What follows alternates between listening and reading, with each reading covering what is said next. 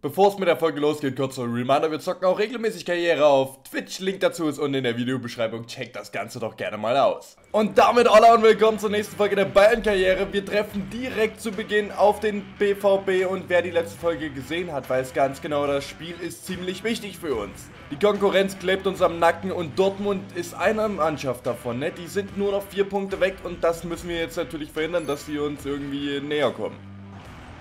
Erster Eckball für die Dortmunder 1 zu 0, Sebastian Aller.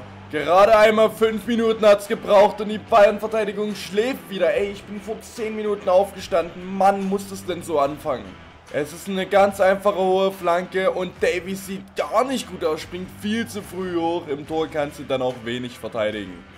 Jamal Musiala bedient Rafinha, der hat hier einen klaren Tempovorteil gegenüber Benze Baini, aber an Kubbel bleibt er erstmal hängen. Joshua Kimmich bringt die Ecke rein. Richtig gut getreten. Auch ein klasse Kopfball von Kimenier. Aber was für eine Parade von Kobel. Harry Kane. Davis. Jetzt nochmal abgelegt. Fake hier. Der muss jetzt mal sitzen. Und es ist wieder die Chancenverwertung der Bayern, über die wir reden müssen. So einer muss rein. Uh, clever gemacht. Der Licht sieht nicht gut aus auf Außen. Nochmal abgelegt, Schuss geblockt, es geht weiter. Dortmund weiterhin im Angriff mit dem 2-0. Die machen halt was aus ihren Chancen. Die haben nicht ansatzweise so viele wie wir. Aber die haben halt einen Sebastian Aller, der weiß, wie er den Ball über die Linie bringt. Ganz einfach Schuss geblockt, zweiter Ball, Sabitzer stellt den Körper rein und dann sieht die Verteidigung einfach wieder nicht gut aus. Weiter auf Harry Kane. Harry Kane, Flanke, kommt gut auf Tyram und wieder Gregor Kobel, der abtaucht. Joshua Kimmich, Flanke, kommt wieder gut und wieder Kobel. Es gibt es doch gar nicht. Was hält der Mann denn alles? Alea wieder in der Mitte abgelegt. Julian Brandt 3 zu 0. Ich kann's nicht verstehen. Ich kann's ehrlich nicht verstehen. Bei denen geht jeder Ball rein. Rafinha geht mal vorbei an Nathan Ake. Rafinha zieht in die Mitte. Hat der nochmal die Chance? Ja, 3-1. Wenigstens einer, der weiß, wie es geht, Tore zu schießen. Wir müssen uns mit 3 zu 1 gegen Borussia Dortmund im eigenen Stadion zufrieden geben. Das kann doch nicht sein. Spielinfo ist der Wahnsinn, ey. 11 zu 8 Schüsse, beide Mannschaften mit 2 X-Goals. Und wir kriegen es nicht hin, mal zwei Dinger zu verwandeln. Tabellarisch sah es auch schon mal besser aus. Wolfsburg schafft einen 3 2 Sieg gegen Leipzig und auch Hoffenheim kann punkten. Wo sind sie ja 1 gegen Gladbach gewonnen? Das ist auch unser nächster Gegner. Wir sind nicht mehr alleiniger Tabellenführer, denn Wolfsburg hat jetzt die gleiche Punktzahl wie wir.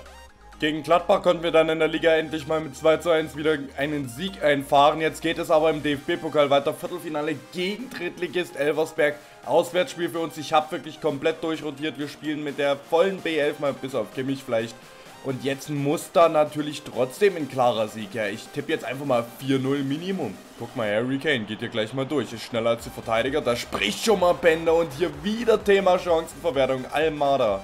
Ey, ich fass es nicht. Ich stehe zur Halbzeit wirklich 0-0 und wir haben kaum eine Torchance. 1-0. Harry Kane, keine Ahnung, wer so einen genialen Ball gespielt hat, aber das war mal ein Angriff, wie man es von uns eigentlich erwartet.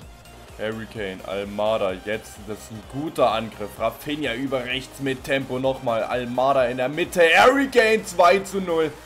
Sie spielen es wirklich mal gut aus. Es bleibt beim 2-0. Wir kommen weiter, stehen also im Halbfinale des DFB-Pokals. Elversberg hat sich eigentlich ganz gut geschlagen. Die Großchancen konnten sie allerdings nicht rausspielen. Und so reicht uns ein Harry Kane Doppelpack zum Weiterkommen.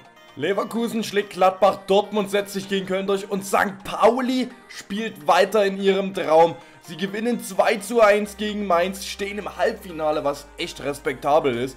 Aber gegen wen müssen wir jetzt ran? Wenn es gegen St. Pauli wäre, wäre natürlich GG. Und wir müssen gegen St. Pauli. Wir fahren nach Hamburg.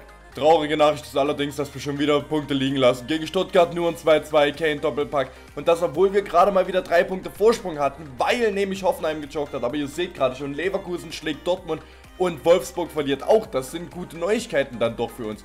Hoffenheim gewinnt zwar, aber in der Tabelle sind wir immer noch Erster und haben ein bisschen Vorsprung auf Wolfsburg, Dortmund und Co. Also vor dem Manchester City Spiel sieht unsere Form echt nicht gut aus. Wir haben gegen Dortmund verloren, gegen Stuttgart Punkte liegen gelassen, dann 3-1 gegen Freiburg verloren, gegen Hertha ging es jetzt nochmal besser. Aber jetzt halt Achtelfinale Champions League gegen City wird eine ganz andere Aufgabe. In der Bundesliga hat jetzt Hoffenheim tatsächlich auch die Möglichkeit an uns vorbeizuziehen, weil wir eben gegen Freiburg am vorletzten Spieltag verloren haben. Da sind wir auch schon. Manchester City empfängt uns zum Hinspiel des Achtelfinals in der Champions League. Erling Braut Haaland. Ich habe letztens ein Zitat gesehen aus einem Interview von einem ehemaligen Fußballer. Der hat gemeint, der Thron von Lionel Messi und Cristiano Ronaldo ist frei und es scheint so, als wenn nur Jude Bellingham ein Auge darauf geworfen hat. Und Real Talk, ich glaube, Haaland hat da auch Bock drauf. Musiala, früher Ballgewinn, das ist mal wichtig, ohne Foul das Ganze. Musiala in die Mitte auf Tyram. Kefren Tyram nochmal gechippt für Nabil Fekir. 1-0 Bayern. Ganz schnelles Umschaltspiel in der 11. Minute. Musiala mit dem klasse Ballgewinn. Kefren Tyram, das ist auch ein guter Ball für einen Linksfuß wie Nabil Fekir. Auch wenn Ederson echt nicht gut aussieht im Tor. Oh, Davies von hinten rein. Scheiße, gibt es Rot, gibt es Gelb, ich weiß nicht. Das Foul war auf jeden Fall brutal. Davies bekommt nur die gelbe Karte, ey, da haben wir echt nochmal Schwein gehabt. Wieder frühe Balleroberung, also Tyram macht ein Wahnsinnsspiel, das ist echt klasse. Rafinha, oh, aber der lässt die Chance wieder liegen. Jamal Musiala zieht den Ball zurück, Ball in die Mitte. Kefren Tyram macht ihn nicht und Kimmich schafft's auch nicht. Uiuiuiui, ui, ui, ui, Chanceverwertung wieder wie eine tote Taube. In Halbzeit 2 passiert nochmal viel. Es bleibt beim 1-0 Endstand. Wir haben also einen gewissen äh, Vorteil jetzt im Rückspiel, aber es ist immer noch Manchester City und wir wissen ganz genau, da kann noch jede Menge passieren. Und bevor wir jetzt ins Rückspiel gegen City gehen, hier nochmal die letzten drei Bundesliga-Spiele. Dort haben wir 2-1 gegen Augsburg gewonnen, 1-1 nur gegen Frankfurt, gegen Heidenheim haben wir dann wieder gewonnen. Aber wir haben eben wieder Punkte liegen gelassen und das spiegelt sich dann halt irgendwann mal auf der Tabelle wieder. Ne? Wir sind jetzt nur noch Dritter. Dortmund ist echt an uns vorbeigezogen. Ich glaube das alles gar nicht. Die waren abgeschlagen, die waren zwischenzeitlich nicht mal in den Top 6. Das Finale vom Champions League Achtelfinale nehmen wir uns dann aber in der nächsten Folge vor. Für heute würde ich sagen, das war's erstmal, Leute. Wenn es euch gefallen hat, gerne wieder Like und ein Abo da lassen. Ansonsten wünsche ich euch jetzt noch einen traumhaften schönen Tag. Macht's gut, haut rein und ciao, ciao.